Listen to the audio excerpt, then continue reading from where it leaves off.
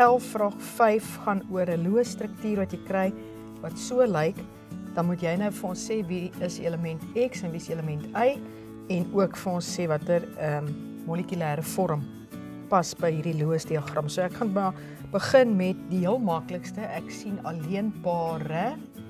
Ons eintlik twee van hulle en dan weet ek outomaties dadelik as daar alleen pare is dat hierdie kan nie lineêr wees nie. Hulle gaan daai alleen pare gaan ons nou hierdie twee na mekaar toe druk want alleen pare vat meer ruimte as bindingspare.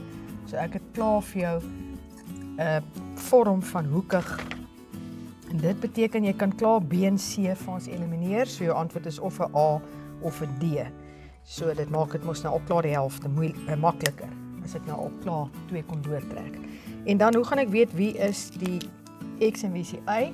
As jy kyk, Y het net een keer gebind in hierdie hele loos struktuur. Dit beteken ehm um, hy het net een bindingsplek. Dit sien ek mos nou in die loos. Hy het net een bindingsmoontlikheid en dit beteken waar lê hy nou in die ehm um, ons maak dit maar reg. Groep 7. So hy sal wees 'n uh, 1 minus. As jy in groep 7 lê, waar as jy vir my kyk na suurstof, ag, hoe sê ek na suurstof X, het ons nou daar een keer gebind en hy daar een keer gebind. So X het twee bindingsplekke. Hy het twee bindingsmoontlikhede gehad. So hy sal in groep wat lê op die periodieke tabel in groep 6. So hy is dan net 2 minus. En al wat jy net letterlik nou gaan doen, gaan kyk na A. Hulle sê kloor is dan die X nee, kloor kan nie dit wees nie want kloor lê in groep 7, so outomaties is dit nou D, maar kom ons double check net. So swaal sê hulle is die X lê swaal in groep 6 ja, hy doen. So ek dink swaal kan wees X en dan kom ons kyk na Y. Hulle sê dit is kloor. Wat is kloor se lading? Ja, dit kom ooreen. So ek sal dan sê die regte afleier was afleier D. OK, graad 11 ons het ons volgende ene. Ons het hierso vier molekules gekry en hulle vra spesifiek by vraag 9 nou.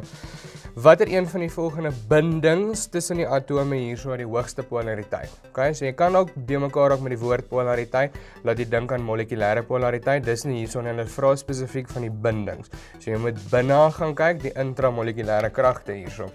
So uh, ons gaan kyk nou spesifiek na die bindings tussen H en die verskillende atome wat aan hom geheg is. So as jy dink bindings, moet jy dadelik gaan kyk die verskil in jou elektron negativiteit.